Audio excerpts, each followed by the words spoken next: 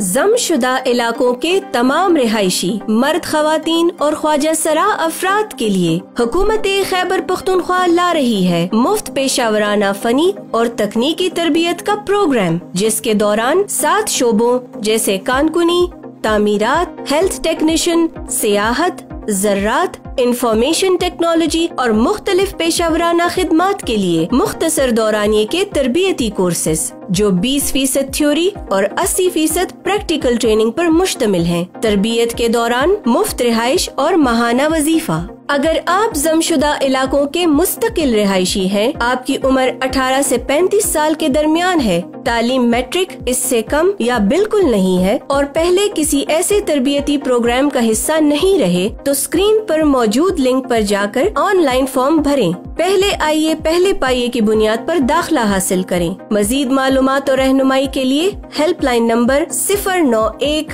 नौ दो एक आठ सिफर पाँच एक पर कॉल मिलाएँ या अपने मुतल जिला में मुकर करदा फोकल पर्सन से रबता करें। याद रखें, दरख्वास्त जमा करने की आखिरी तारीख 10 मार्च है।